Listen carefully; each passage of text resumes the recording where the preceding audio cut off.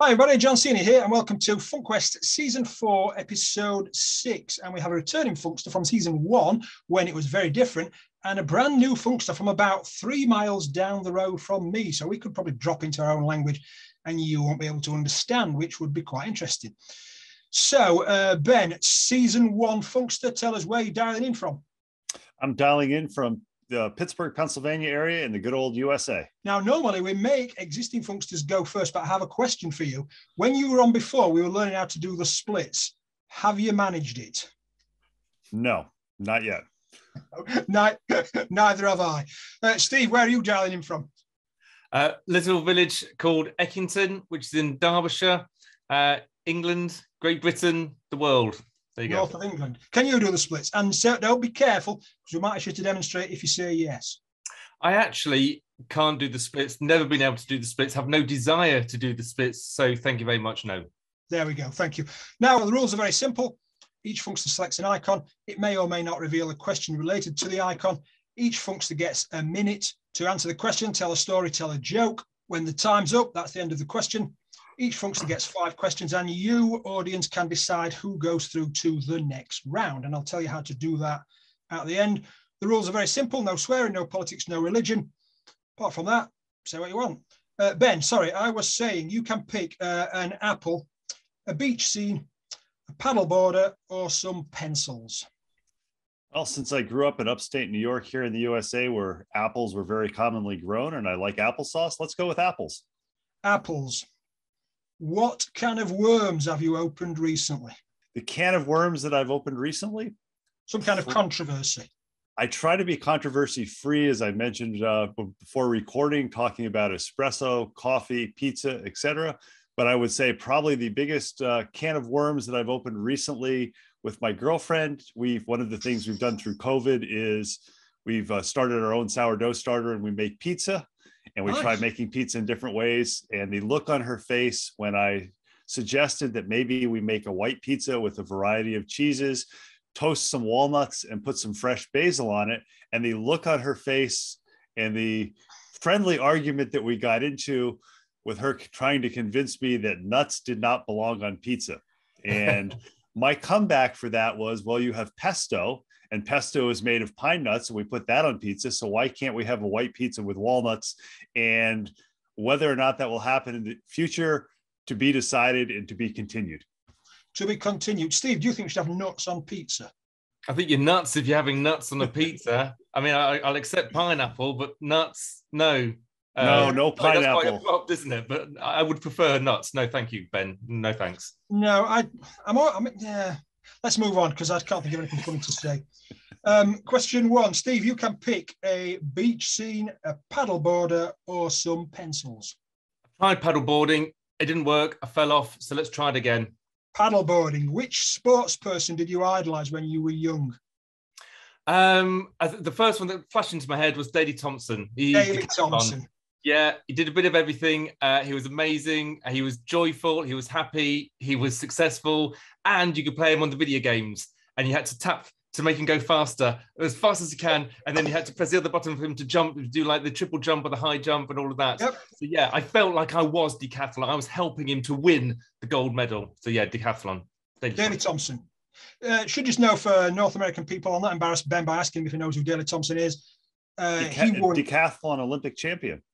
World champion, Commonwealth champion, European champion, um, whistled the national anthem famously on the podium in Moscow, Steve, was it? I think it was, but like I said, the most important thing was he was in a video game, and that was just in the eighties. That was just fascinating. So that was the main thing, apart from the whistling and the achievements and the gold medal. The video game was just incredible. So yes, yeah, Daley Thompson. Daley Thompson. I once got his book from the library, and there's a photograph in the back cover, and he's stood there with his hands on his hips, and all the rest of them are laid out on the floor. And I thought, how cool is that? that is cool. Uh, ben, question two. Uh, some chess pieces, a fairground ride, some clouds, or some pencil crayons. We'll go with pencil crayons because it reminds me when it comes to drawing or artistic talent, I have none. Well, this might be related to your girlfriend. When was the last time you got Condor scammed? Well, she got Condor scammed. Ooh, that's a good one. The last time we got Condor scanned is when she tried to convince me that there was snow outside, despite me looking at the thermostat that was, or the thermo- outdoor thermometer that I had, and it was 45 degrees. I'm like, there can't be snow outside. She said, no, no, it's it's November. You know, I'm worried about it. And she almost had me convinced, except uh, I made the decision to look out the window. And then I realized that she was trying to con a Connor because I'm always doing things like that to her. Did, did your country the same as ours? It, falls to grinds to a halt when you get a bit of snow. Is it the same as ours? Some people you could you can see who's grown up in snow areas. So where I grew up in snow areas, it was not unusual to drive to school through snow. I, I grew up in the country. Uh, it yeah. was not unusual to drive through snow where maybe there was six inches of snow on the ground. But I've yeah. also lived in Atlanta, Georgia, where there was a dusting and everything snowed uh, ground to a halt. Here in the Pittsburgh area, I would say people want it to grind to a halt because at least before COVID, you could say, well, maybe they'll cancel school. But I would say 50% of the people say no big deal. And 50% of the people either say, I don't drive in it, or they don't have the proper tires or vehicles to drive in it. Steve, as a youth, do you remember listening to BBC Radio Sheffield for school closures of snow? Yeah, and I still do it now with my, you know, with my kids and two kids. So you know, yeah, but they've got, we've got we've got Twitter now and Facebook and all their friends on Snapchat, whereas we didn't. Yeah, but I think the thing is, is they can't get away with it now because if it's a snow day, they just work from home because True. it's all set up by, by the schools. They can just do that, so there's no escape, snow day or not. Yeah, that's true. Yeah, kids these days they've got it easy, aren't they? Uh, Steve, question two: a chess piece, a fairground ride, or some clowns? Okay, I'm a Cub Scout leader. Tonight we're having games night, and I've asked people to bring in chess. So let's go for chess. Who would you like to interview you? Who would I like to interview? To interview me? Oh my yeah. goodness, this feels like an interview. Um, so I just watched a video. Jonathan Ross springs to mind. Okay, Jonathan it's going back into the 90s a little bit. Yeah. I liked him. I liked his questions. I like his style, but he's funny. I think I'd need somebody who was. I think most you know people that, that do interviews are, are funny, but he, he was interviewing Ali G. Uh, I can't remember what his real name is, but Ali G, who, who the guy that, that, plays him, and some of the amazing stories. So, yeah, for him to interview me, I think he'd bring out the funny stories, and I think that's what's more entertaining. Yes, you got the poignant things of you know the, the car accident that I had and the survival, but the funny stories, the entertaining. People remember two two emotions, don't they? They remember the last time they cried and the last time they laughed. I would like to be remembered by making people laugh, entertaining so I'd need somebody who would bring that out of me in the interview, and I think Jonathan Ross would do that superbly. Jonathan Ross is the but is, is he still on BBC? Is he still got used to be half eleven? Oh, he, keeps changing. I think he's is on he? ITV last time. Is he? Oh. He's still got a mullet. yeah, I think so. Yeah. uh, ben, uh, question three. Uh, you can pick a suitcase, a parrot, some pool balls, or a yoke. Man carrying a yoke. I'm going to pick the parrot. And the reason I picked the parrot is a few years ago, I went through the Rolfing series, which is a type of bodywork. This was when I lived in Florida. And my Rolfer actually had a parrot that sometimes she would bring down into the workroom, and the parrot would sit on a perch until it got too wordy and she'd have to put a towel over it to quiet the parrot up. Weight training. No, Rolfing is, uh, think of it as deep tissue uh, body work, not necessarily massage, but more it focuses on fascia and oh, realigning yeah. realigning yeah. fascia. Uh, actually, the lady who invented it, Ida Rolf, uh, had a PhD in biochemistry. This was back in the early 1900s. Steve, have you heard of that?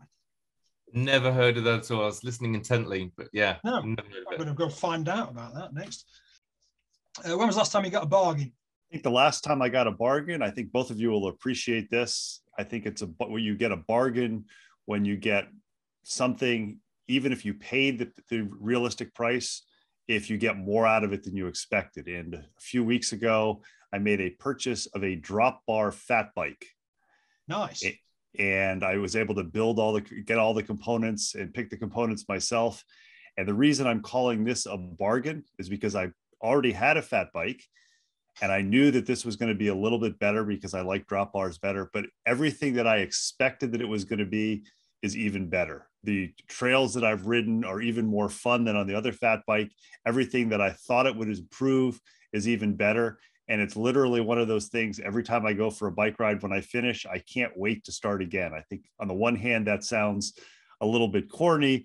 On the other hand, I think in life we try to overcomplicate things. And if you find simple things that make you smile and have fun, and for me that's cycling in the woods, then I think that's a bargain.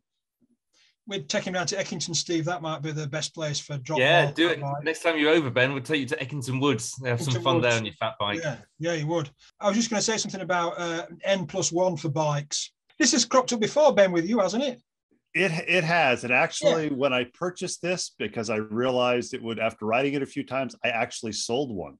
So even though I took into account the N plus one, I actually did an N one minus one. I know that's a shock. I never thought I would do that either.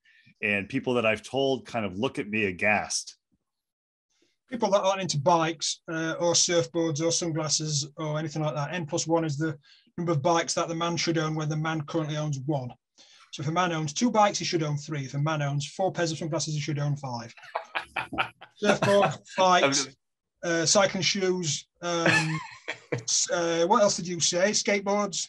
Skateboards, uh, watches. If you're watches. a watch, if you're a watch collector, uh, whiskey. If you if you're a whiskey connoisseur, a, a different uh, fine bottle of whiskey. There you go. N plus one. Getting education today. Steve, uh, question three uh, I hope. Suitcase, uh, parrot, no, suitcase, pool balls or yoke carrier? I'll have the pool balls, please. Pool balls. This is an open goal for you. What have you done recently that would make a 10 year old you proud? I've written a book. I, have published it. You know, it's out there. I am an author. So I think that's always cool to say. I kind of just slip in a best-selling author. Um, so that'd be the coolest thing, and that that's quite significant as well because that talks about my childhood. It's, of course, it does. It's my autobiography, but it talks about the things that I did as a child, my my growing up, what formed me to be the person that I am. The fact of what I used to do was running. So you know, Ben, you know, you're very much into fitness and getting out there and doing exercise. That's what I did when I was a kid. So running was my passion. Scouting, I'm still doing now as a cub my cut as a Cub Scout, you know, my first things that I achieved, my first badges were swimming, cycling, running, and I became a world champion in triathlon, swimming, cycling, running. So my 10 year old me would be very proud of what I've achieved. What's the most uh, obscure Cub badge that 10 year old Steve got? uh, collector's badge, I think. Collector's it's funny. You, yeah, you, you, were just talking about bikes and uh, glasses and stuff. I got my collector's badge for key rings. Uh, I had a lot of them. I took them in. I got signed off. I got a badge, collector's badge. Job done. Yeah. If anybody can beat collector's badge in terms of nerdiness or just general oddballness, then we'll get you on the show. Question four, are we on? I think Ben, you can have some horses, uh, a couple with some boots, uh, some armor, and a camera. Let's go with horses. When are you at your most content? So I think I'm most content when I'm in the woods doing some sort of movement, prefer- preferably with my dogs. It's just very calming and it's a great opportunity. All of my best ideas, uh, including submitting my application to appear on Funky Thinkers, has occurred when I'm out in the woods with my dogs. So that's when I'm most content. Did you get your? Did my email to you come to your phone while you're on your bike and you thought I better do that straight away? No, because one of the things I do when I'm out on, on the bike or running or something, I leave my phone in my car. So nice. people say, well, I tried to get, and the reason for that is, well, sometimes there's no cell coverage, but sometimes like that's my time. So I, I work from home, I work online, I spend a lot of time even before COVID, you know, on, on Zoom calls and things like that. So if I'm out and I'm going to exercise, that's what I'm focusing on. So if I'm running with a friend or biking with a friend or I'm with my dogs or just alone, that's my time. So the phone, whether it's email, whether it's listening to music, and we could go down, you probably add that to your politics uh, and religion thing. Listening to music while exercising outside just drives me up the wall, especially if there's no, if, if you're not using headphones. So I have to hear it. Steve, do you, do you take music when you go out running? Uh, only if I need it. And what I mean by that is I'm motivated to go out, and that's great, and fresh air, exercise. I'm all about that. But on those days, when I'm really, really struggling and I know I need to go for a run, I say, okay, Steve, you can listen to music. And that really helps me because, you know, you, you play the right music. When I'm out there, you know, I don't I don't really like it as much. I do prefer to go out without music, but it's needs must. I always talk about don't lean on your excuses. And, and some people uh, come up with so many excuses about not doing exercise. So put a raincoat on, play some music, whatever it takes, and do that exercise. So yeah, needs must. And I have to I have to ask Steve, is it headphones for the music or do you blare it so everybody else gets to hear it? Oh my goodness, headphones. Yeah. Okay. Oh, See, I don't have a problem with people doing that, but what seems to be common in this area is you're in the woods, you're running, you're walking, you're biking, you come around the corner, and there's somebody not with a boom box like we all remember, but you know, maybe they're using the speaker on their phone, and that just drives me up the wall. Yeah, no, that, that's not called for. That's not right. One, because it's not fair on the other people. But two, this is my music. I'd be quite embarrassed. Other people listening to my music. I don't want to go into that. Um, you know, but yeah, there's a different taste for different people. Uh, Steve, question four, I think, are we on? Some boots, a couple with some boots, some armour, and uh, a man looking through a camera. Uh, the boots in the snow, because that was me and my girlfriend this morning. Boots in the snow. Uh, what is your dream job? So I've had an eclectic life with jobs. I started out, my first job was working down the coal pits of Yorkshire uh, as a mechanical engineer, maintenance fitter, fixing machines. I've moved, I, I traveled around the world. So I was picking fruit, I was working in bars, I've worked in construction, in health and safety for nine years. That was not a- an ideal job because when you turn up on site as a health and safety inspector, you are the most hated person there. You, you you can clear a construction site so easily. You know whose tools are these? No, no, not mine. Because now, as a professional speaker, I'm I'm welcomed in. People expect me in. They give me a cup of tea. They ask me how I am, and to do my job, to empower, to motivate, to inspire people. It, it is a, a, a massively dream job. But never say never. You never know what's around the corner. But at the moment, I keep doing what I'm doing. You absolutely don't at the moment. Uh, question five, Ben, uh, a pile of tyres, a pink rose, an umbrella, or uh, some carrots. Let's go with carrots. What is the worst movie you ever saw? Well, I was actually thinking of potential questions yesterday when I was in the woods, and I wondered if this would there would be a movie question because I know last time I was on there was a movie question about the best movie I saw.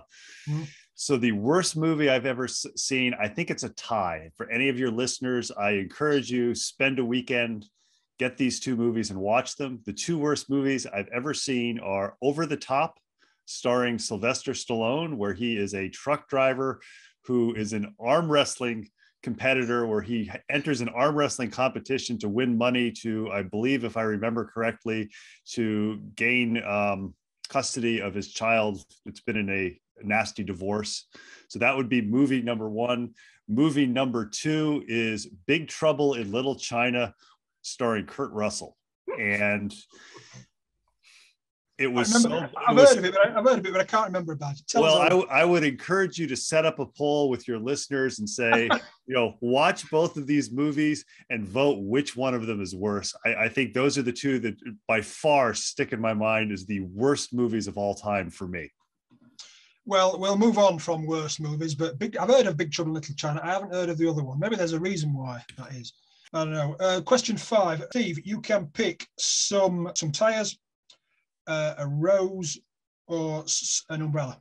Some umbrellas. I'll go for the English rose, please. Rose. What do you do on the beach?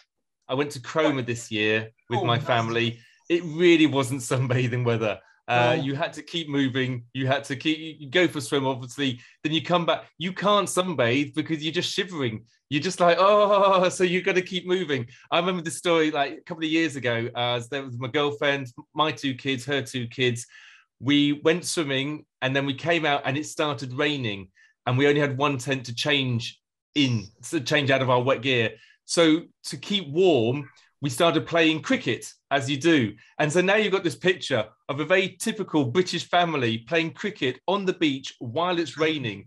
Uh, and we didn't think anything of it until we got back to the car and people just like applauding us. Oh, well done for playing cricket. We were just trying to keep warm. But I guess that's a British thing as well. So, yes, uh, whatever it takes to keep warm, I guess is the answer. I have a question for Ben who might have an angle on this. The thing about going for a run on the beach is you can only run one way and then you've got to run back. How can we make that more interesting? The way to make it more interesting is run down close to the water where it's nice and firm. And then when you run back the other direction, move about 25 or 30 feet farther up on the shore. So you're running through deep sand. I remember doing one of my, I think it was my third triathlon ever in the Outer Banks of North Carolina. And part of the run was on a beach. And rather than running you down close to the uh, surf where the sand was hard packed, they ran us way up near the uh, near the grasses. And I still remember it was a 5K run. This was maybe 800 yards, uh, somewhere around 800 meters for, for you British in deep sand. And I remember it being one of the hardest things I've ever done because you sank in literally above your shoes and you had to pick your legs up, which were already tired. So to make it more interesting, since I think hard things are often interesting, even though they're maybe what is defined as type two fun, uh, I would say run in deep sand. Excellent. We'll give that a try next time we're at Scarborough or um, Cromer or Skegness or something like that. So, uh, who won? Well, I don't know. Some very interesting answers there. We talked about surfboards and wine and pizza and Cromer and cricket and all sorts of things. So, one of these gents is going through to the quarterfinals, and you can decide who. And it's very simple. You go to this, find this episode page on funkythinkers.com, leave a comment with who you want to vote for. Uh, must be on funkythinkers.com. Do not vote on Spreaker or iHeartRadio or YouTube or any of those other things that you might be listening to us on. It must be on funkythinkers.com. And we'll see one of you gents in the quarterfinals. Steve, how can we buy your book and buy all your watch all your videos and stuff like that? Okay, just type in Steve Judge into social media. You should find me. I should come near the top. Uh, if not, I do have a website. So you can tap in www.steve-judge.co.uk. Uh, if you want to connect with me, that'd be great. LinkedIn, Facebook, Twitter, Instagram. I'm out there. YouTube, find me. Let's have a chat. That's how you do it. Fantastico. Uh, ben, how can we uh, find out you about you, listen to your podcast, etc.? Easiest way to find me is Google F I T L A B P G H, FitLab PGH. That will throw, throw up probably the first three pages, different links to, to my social media things. If you're listening or you only want to go one thing because there's so many social media channels out there, I encourage you to check out Instagram because every Monday, Wednesday, Friday, usually with my Labradors, we do a one minute movement tip lifestyle hack promoting the ethos that movement is a lifestyle, not just an activity. Fantastic. Gents, thank you so much for being on. We could talk for hours about bikes and other kind of stuff, but thank you so much for being on. And we'll see one of you in the next round. Thanks so much and take care.